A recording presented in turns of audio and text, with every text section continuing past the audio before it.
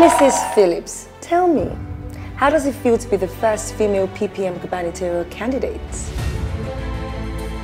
I know that I'm the best person for the role, irrespective of gender. Good evening, Your Excellency.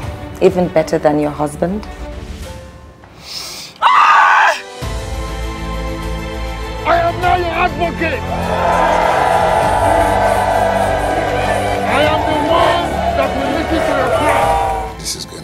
to destroy us. We are us. Nothing can destroy us.